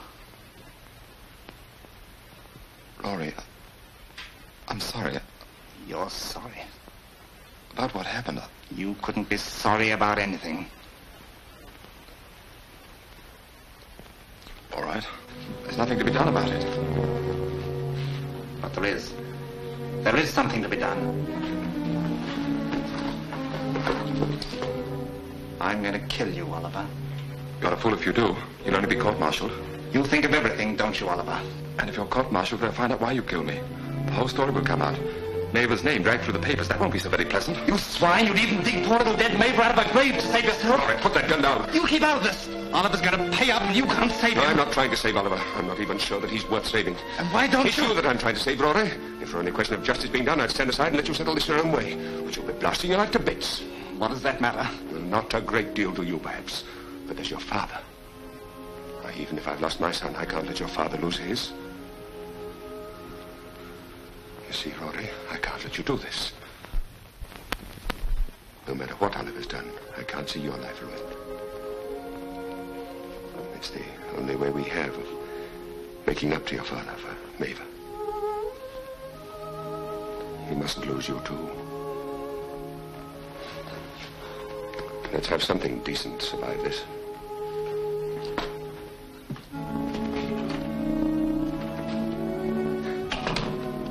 Steady, Rory. Steady.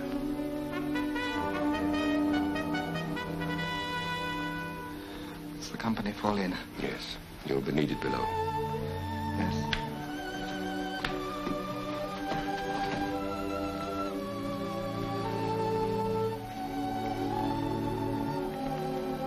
You don't need to worry about my using it at the wrong time.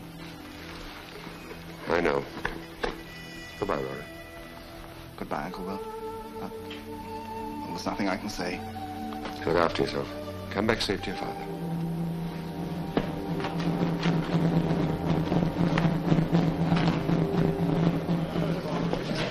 Ah, there you are, is it? Well, we're off. We managed to finish the port, what? Good luck.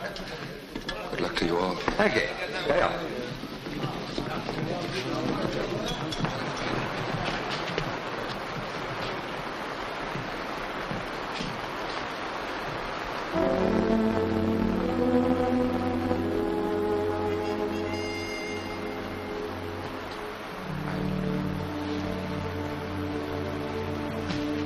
I was coming to find you.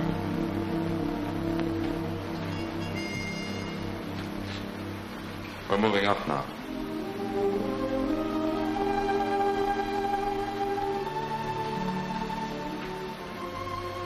I missed saying goodbye to you once. Thought I wouldn't miss it this time.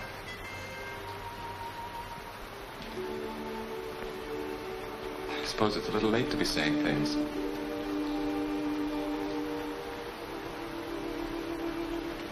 Well, goodbye then.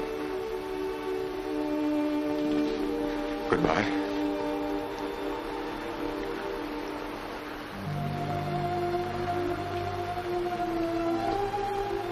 Good idea of yours up there. Rory is the one worth saving. I've always known it. Good that you do, too.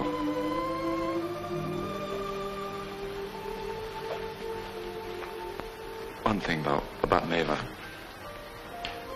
I simply couldn't see that far ahead. But I'm very sorry.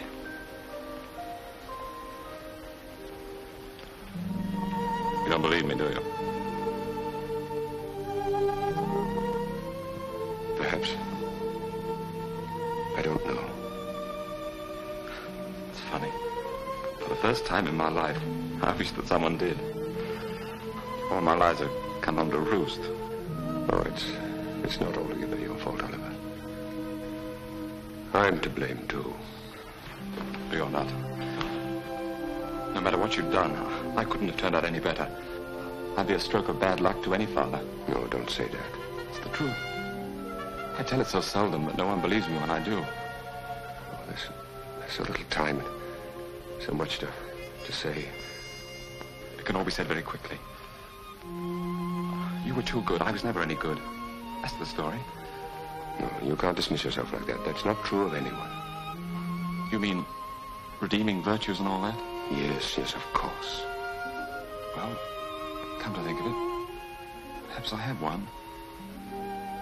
I can see how decent you are. If that's a virtue, put it on the credit side of the ledger.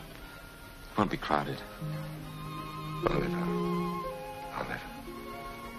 I wanted so much for you. Too much. I couldn't live up to you. I didn't know you wanted to. Neither did I till it was too late. It's not too late. You could change. It's not in me to change. But you could. You're young. Why, you have your whole life before you. Have I? This is over, we, We'll make a life together somehow. You can't pour a quart into a pint measure. One thing more. Whatever I may have done, I, I never doubted you.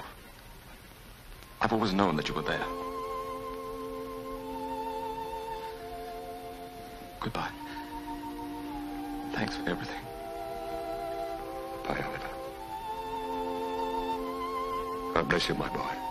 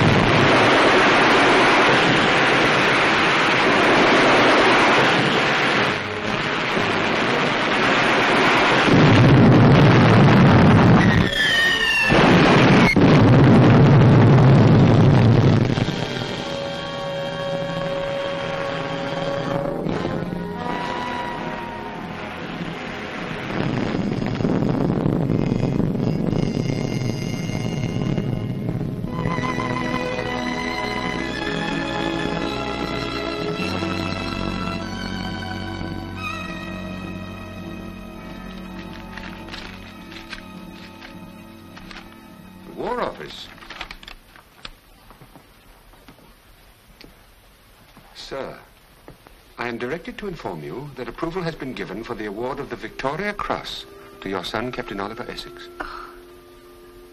For conspicuous bravery in demolishing a machine gun post, single-handed at the cost of his own life. If it so pleases you, His Majesty the King desires you to appear before him to receive the decoration in person. I am, sir, your obedient. The Victoria Cross. It is a grand thing. Rory, do you think Oliver meant to die? I don't know. I only know when we went over that night, I never saw him look so happy. He would have done anything to make you proud. He has. He's made me very proud. Now you know what a fine lad you had. Well, Rory, we must be getting along. Your mother will be waiting for us. Goodbye, Livia. Goodbye, darling. Goodbye, Uncle Will. Goodbye. Goodbye, Will. And remember, onward and upward. Excelsior. Bye, Dermot. And lad.